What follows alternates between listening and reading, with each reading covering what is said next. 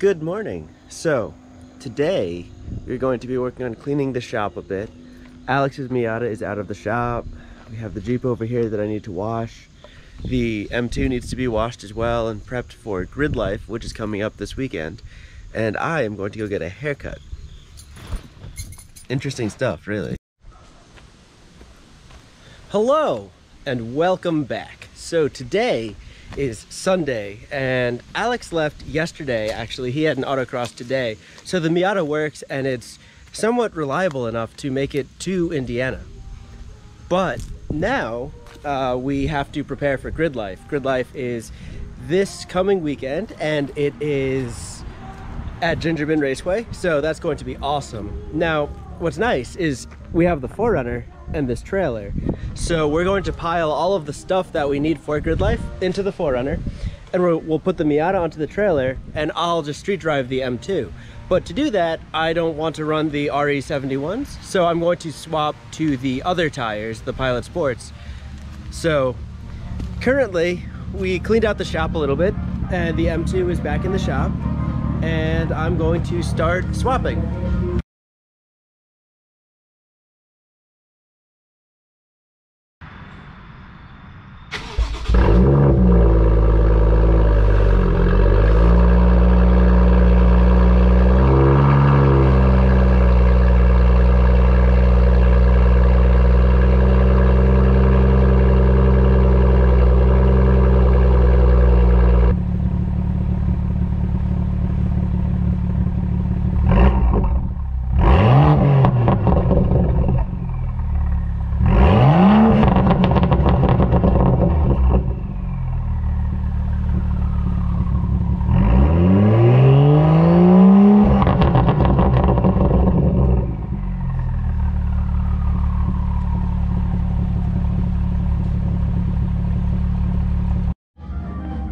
Now, I realize that a lot of the vlog stuff has been about the Miata or the Jeep or the car show. So, Alex's Miata is still here and the frame is actually quite nice looking. He contracted out a painter after he did some rust conversion on here. And Alex is working currently on the engine. So he's doing timing belt and water pump and all the seals and stuff. So this is a 5VZ FE.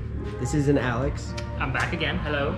So it's a very basic engine. It is a V6, the 3.4 liter V6 with a timing belt and no cam phasing whatsoever. So these are the cam gears. Here is the water pump and thermostat, of course. And that's the timing side.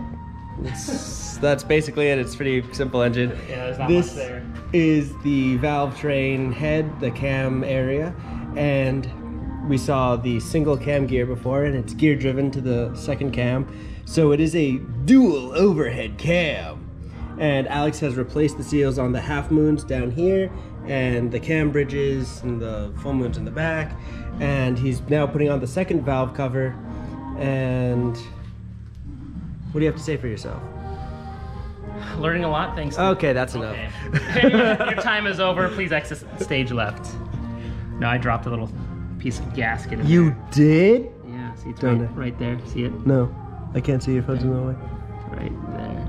Oh, I see. Just get the vacuum. I hate to say it, but I'm thrilled with how muddy the Jeep is. I mean, look at this.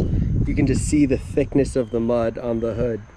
It's awesome. It's all over the springs and everything and the shocks. I really need to wash it, and I'll get to that soon, probably tomorrow or something.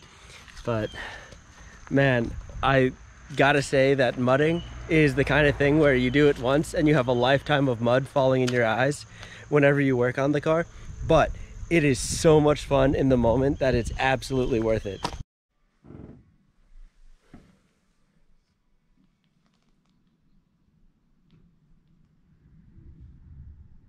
Hi, Garth.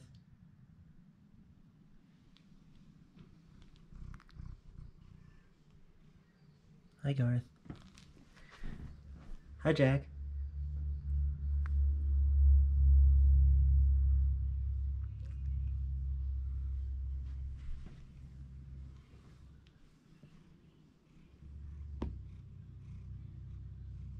Garth.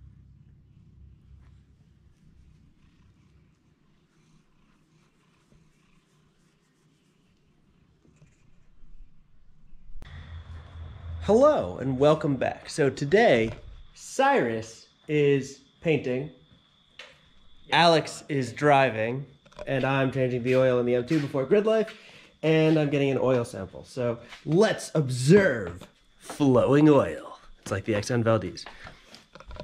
Ooh, oil flows. And there's a sample. I'll send that off to Blackstone.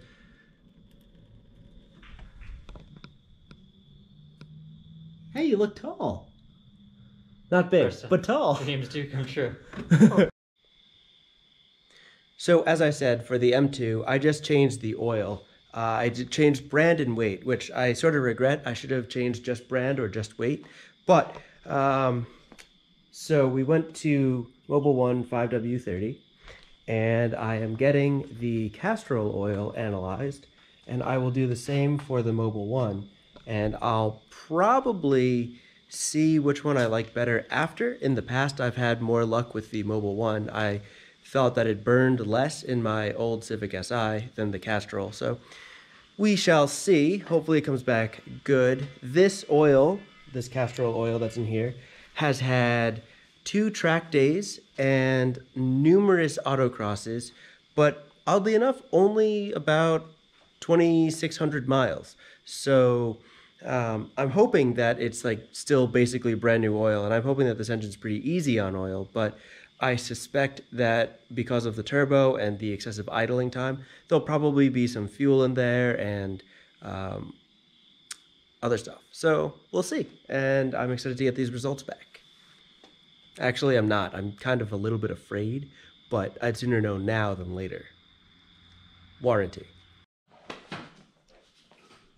So, like all the good nights, Alex has arrived and he is working on the Miata. He's going to do an oil change and he's currently inverting his Penis. penis. So, because when he installed his penis the first time, they it was actually upside down. So now he's setting that correct, and maybe good things will happen, but I doubt that. So he is actually inverting his uh, rear sway bar end links. They were on upside down, so they kind of potentially had some possibility of getting wrecked, but they should be fine. So that's neat. So basically, we are leaving for Gridlife tomorrow. We have not done any packing. We have not done any preparation. We are still working on this. I did not hook up the 4Runner to the trailer. So you could say we're doing pretty well. Nuts. I don't have a spare tire for the trailer. Oh, we'll get that tomorrow, I guess. Looks like we're blowing off work tomorrow again. Oh, I won't go in the vlog, don't worry. Alex is over here working on his 5VZFE. E. The original one that came out of the 4Runner is currently taking the oil pan off and the oil pickup tube because between the new engine and the old engine, um, it looks like the new engine was actually out of some front or longitudinal or lateral uh, wheel drive vehicle, maybe a Toyota Previa or a Sienna or something. And the 4Runner is obviously longitudinally mounted, so the sump and the pickup tube go to the front. On the other engine, they are in the back. So he's just adjusting that. And it should all bolt together. I mean, it's the same oil pumps and everything, so. Should. Alex, did you get anything loose yet? Uh, yes, but they're all. Some of them are 10, some of them are 12s, so I have to go get another socket boy. Okay, I'll continue. Um, what else do I need? That goes there. You could say we're doing pretty well. Just for high temp brake grease. Do we have it? What have you used? Usually Sil-Glyde. I only have ever used whatever comes with the hawk pads. Yeah, actually though. So, the good news is Alex went to autocross and the Miata did Horrible. The Miata did excellent. So he discovered that he has a wheel bearing that's um, tired. So he's currently changing that right now, and he has the new one right over here.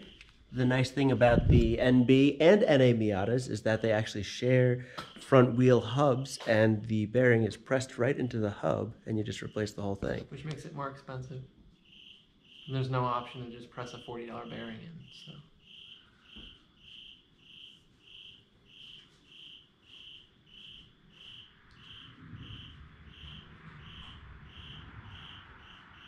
So regardless of if it makes it more expensive or not, it is really easy to do because instead of having to use a press, all you do is just take the caliper, the rotor, the hub nut off, and then slide the old one out, and then put the new John on, and then tighten down that nut to some. Oh dear! Tighten down that nut to some excruciatingly tight torque, probably like 25 newton meters, and then you're good. 25 Algodoras.